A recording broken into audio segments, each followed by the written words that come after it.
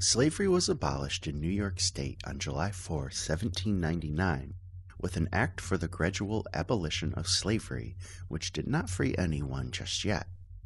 Just like the slave system divided people based on skin complexion, the abolishment freed people gradually based on other factors beyond their control and continued the United States tradition of enslavement through the mother, not the father.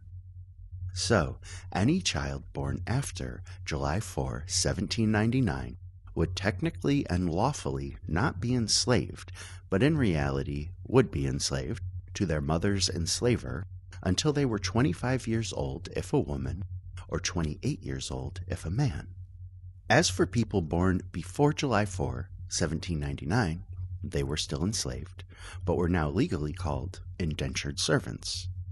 Until March 31, 1817, when New York State passed an amendment to an act for the gradual abolition of slavery, freeing everyone born before July 4, 1799, but not for another decade.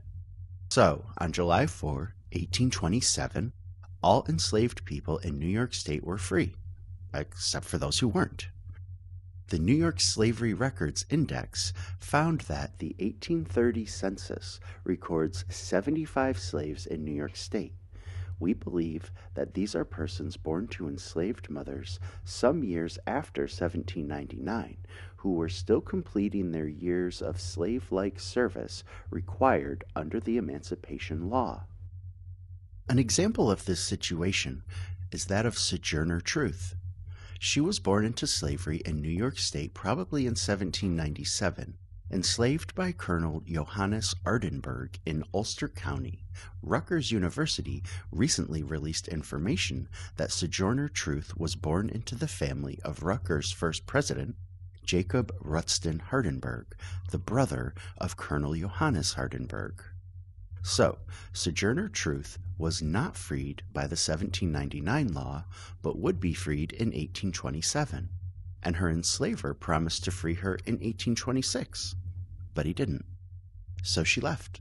The enslaver, a man named John Dumont, unlawfully sold Sojourner Truth's five year old son Peter to a southern enslaver named Fowler from Alabama. Alabama was part of what was called the Deep South, from where you can never find someone again. That was the belief at the time, and the accounts of enslaved people who never saw their parents or children again after one of them was sold show this to be true.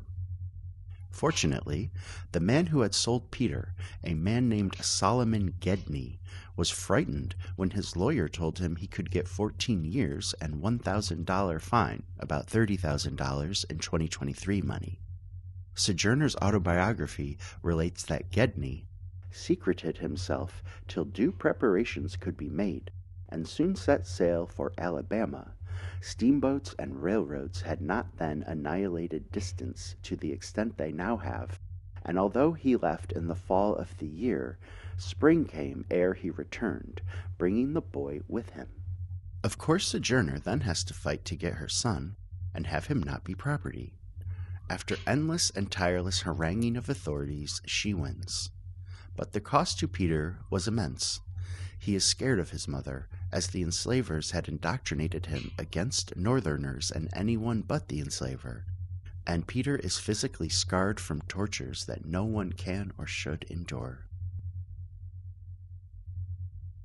Back to the unfolding emancipation in New York State, an additional loophole after 1827 was that non New Yorkers could travel to New York with their enslaved people for up to nine months at a time. A famous example is the amazing escape of Harriet Powell in Syracuse, New York in 1839, a story that will need an episode of its own.